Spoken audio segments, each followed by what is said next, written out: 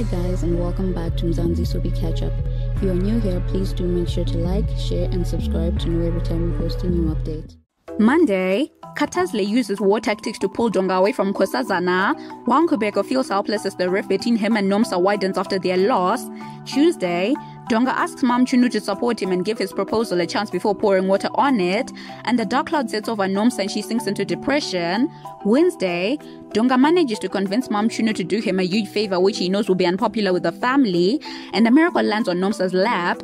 Thursday, Katazle is reeling when she learns that the entire family is laughing with her enemy behind her back.